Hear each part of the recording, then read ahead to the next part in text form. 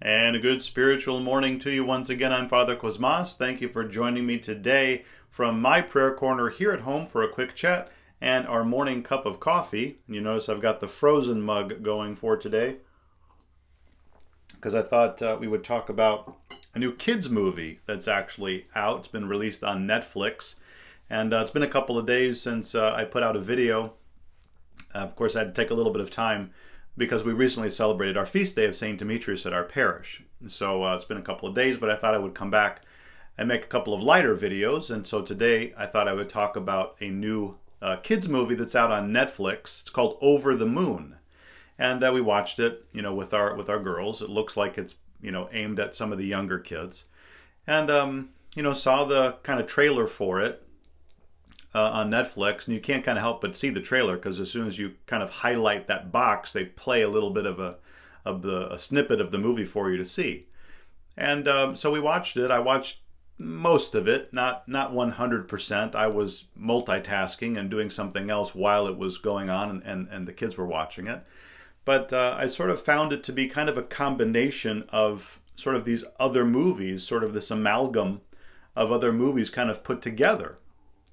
It seemed to be a cross between Frozen and um, Inside Out and Coco. You know, kind of just putting these three movies together. If you put those three together, you get this thing, which they put out on Netflix.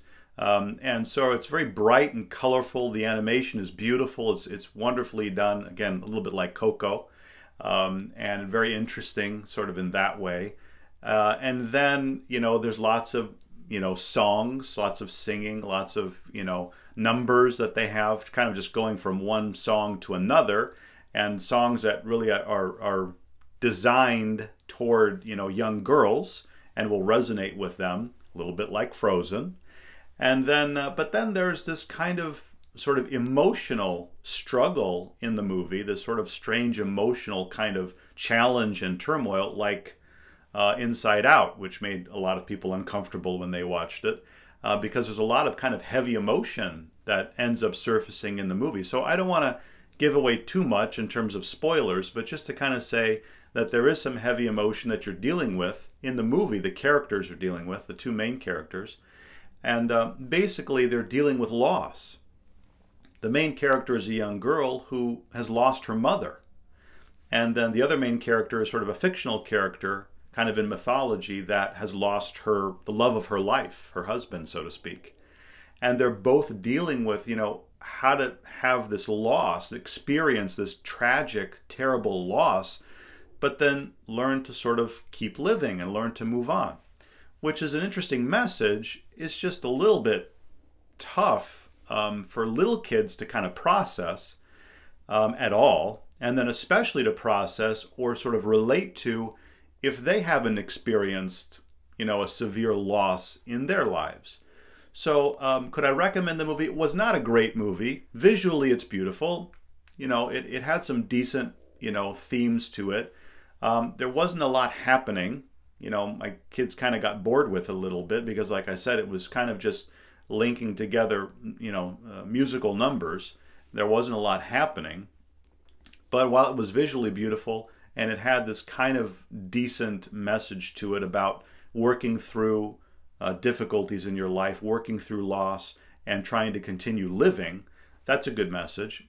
Um, I think that the main message or the main benefit to it is teaching kids about empathy because I think most kids probably haven't experienced horrible loss at that level, you know, and so they're trying to relate and I think parents can kind of help them connect the dots a little bit by relating and saying, we should sort of realize that there are people around us that have experienced tragedy in their life, have experienced bad things happen, and they might be hurting and they might be struggling and they might need us to understand how they feel and they might need us to be nice to them and help them.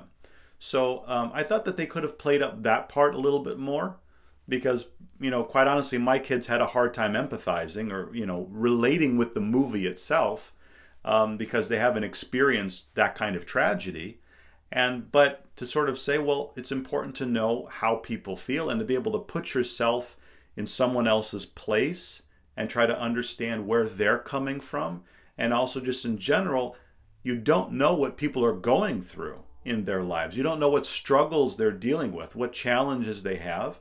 And so it's always a good idea to be nice to people and be supportive of people. I think they could have played that up a little bit more, and that might be the angle to take uh, with a movie like this, you know, because there's some value to it, but uh, it was it was okay. I couldn't really recommend it, but if you're looking for something new for the kids to watch, it was a little bit entertaining. And uh, depending on the child, they might like it, they might not. It's hit or miss. My two daughters watched it. One liked it, one didn't. And the one that did like it is six, so I can't really give a strong recommendation uh, from a six year old. But uh, it was okay. And again, if parents, parents sit down and try to talk to their kids a little bit, uh, it opens a door for a good conversation about, you know, how to show philotimo, how to show a sense of love and support for everybody because you don't know what they're going through, and how to empathize, how to think about something from someone else's perspective. That's an important thing for us to understand and to practice in the spiritual life. Once again, may our Lord and Savior bless us and keep us this day and every day. Amen.